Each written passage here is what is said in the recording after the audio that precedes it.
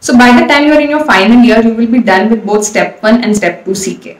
And that is like a big achievement. If someone is able to do that by the time of their final year, they are good to sit for the match and get a residency soon after they have graduated. Hi guys and today we have a very special guest, Dr. Gazala, an MBBS graduate. Thanks for joining. Thank you so much for having me Shivam. How are you? I'm good, thank you. And today we will talk about the strategic pathway for USMLE exams with Dr. Gazala who has already cleared USMLE step 1 and step 2 CK exams. So let's begin firstly like what would be the fastest possible route of clearing the steps of USMLE? Okay, so the fastest possible route would be like if you give both your step 1 and step 2 CK exam in one year. But I mean, I understand that it is not possible for everyone and uh, even I did not do that. So let us start from the first year of medical school. If you are in your first year of medical school and at that point you have an idea that this is what I want to pursue, then you have to go by the saying that it is never too early and also it is never too late. So if you know in your first year that this is what you want to do, then start your preparation from your first year. Now being said that if you are in your final year and even then it is like a late realization for you that this is not what you want to pursue your residency in your home country and you want to pursue USMLE, then it is not too late for you. You get started from there. So coming back to the main question, which is what is the fastest route? So ideally, if someone is in their first and second year, you prepare, start your preparation in your first year, in your second year, and then by the time you're in your third year, you should be dedicated uh, like three to four months just for this step one exam and then you are good to give the exam in your third year.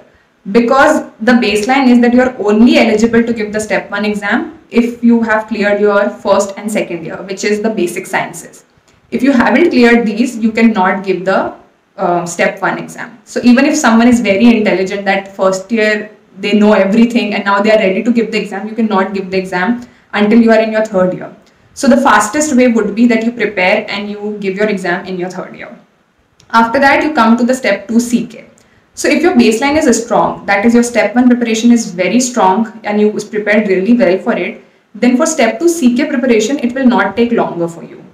So then it will be just a couple of months and then with the step 2 CK preparation, you are good to give the exam. So by the time you are in your final year, you will be done with both step 1 and step 2 CK.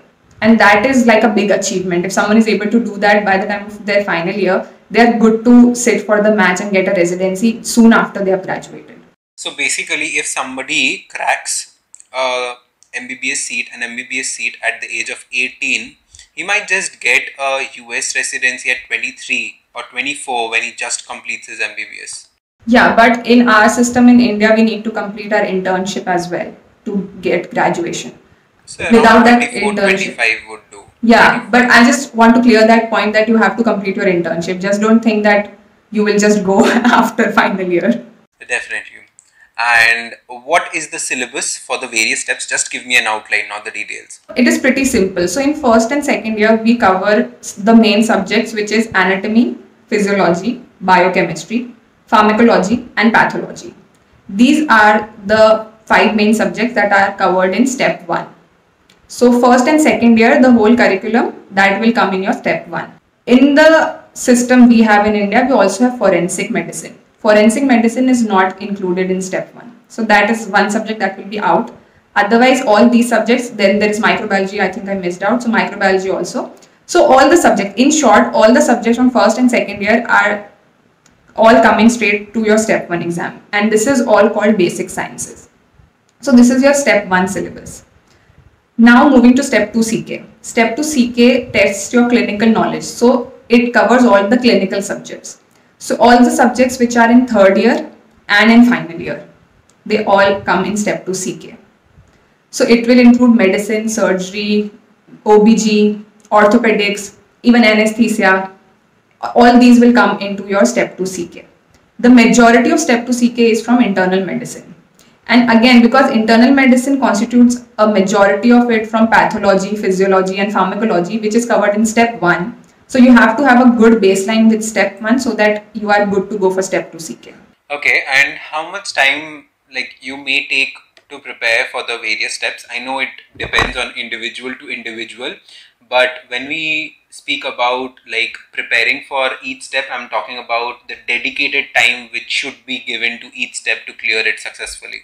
So um, the dedicated time would be completely different. So generally what in this USMLE thing, what people say is a dedicated time is like the last one to two months where you are not doing anything else and just studying for the exam. So if I say like the dedicated time, it would be one to two months, not more than that. And for my case, I did not have any dedicated time because I was throughout in my medical school. So I didn't get a chance, any break that I could take this much time out and I would just study for this but people are more strategic. They plan it in a way that they are having like their breaks or they take an extension. So they don't have to go to college and they can you know, just study for the exam.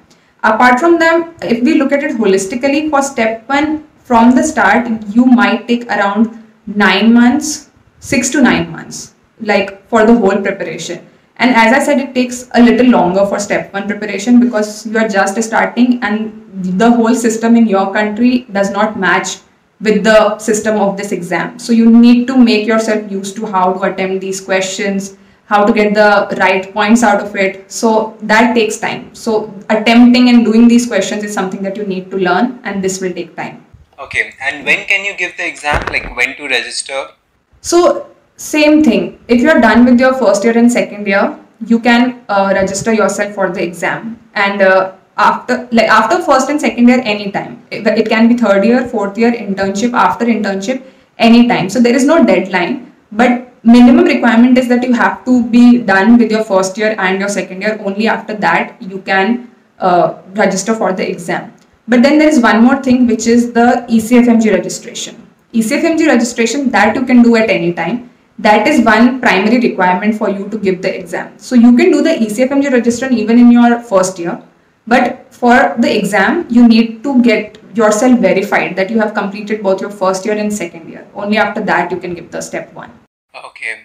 And can students give the step one after the internship? Yeah, sure. They can. And many people do give the exam after internship. So they can. Okay. And does being in a supplementary batch matter when you apply to a university? Yeah, that's a really good question. So, in this whole journey of USMLE, the one challenging part is that uh, your scores are not just enough for you to get a spot.